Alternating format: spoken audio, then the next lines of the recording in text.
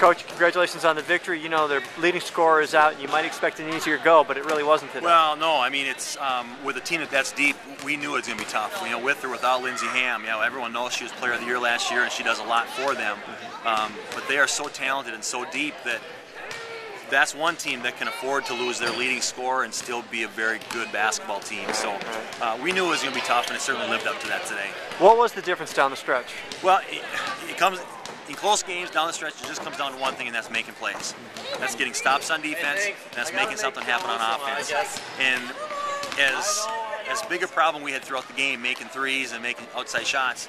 Nikki Washik stepped up huge there and knocked down a big one. Even before that, though, Brandy Cressup Okay. was huge too. So, um, you know, it was we really made some nice plays down the stretch. It was again a total team effort as it always is. Yeah. Um, you know, we had some good looks inside to Emily Mayer and, and Steph did some great things. Uh, uh, so it was a, it was a total team effort, but you know it comes down to just making plays, and we I guess we made one or two more than they did today. I want to ask you about Emily in particular. She, especially in the last four or five games, she's really coming to her own, especially on the offensive end. What what adjustments has she made throughout the year? I think it's just confidence. You know, it's nothing that we as a coaching staff are doing any differently.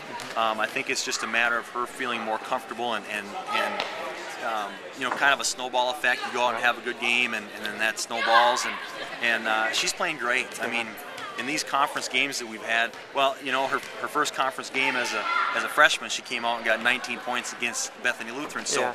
you know, I, I think when we're playing the level of competition that is equal to us and, and we don't see the huge trees inside like we do sometimes with our non-conference games, hey, Em's a great player and, Yeah. and she's and she's showing it to people on a nightly basis here in conference play. Excellent. Well, eight and one in conference, and now tied for first. Uh, It's a good place to be. It's a good place to be, tied up first place with uh, four games to go, and, and both Northland and us, we have the same schedule down the stretch. We play the same four teams. Oh, wow. Um, Okay. So we'll, it'll be it'll be a fun four games, and hopefully uh, we do what we have to do to get things done. All right, thanks, Coach. Thank you. It. Handsome little guy you got Uh, there. thank you. Yeah, I'm glad he was good for the interview. Here, say hi. Definitely.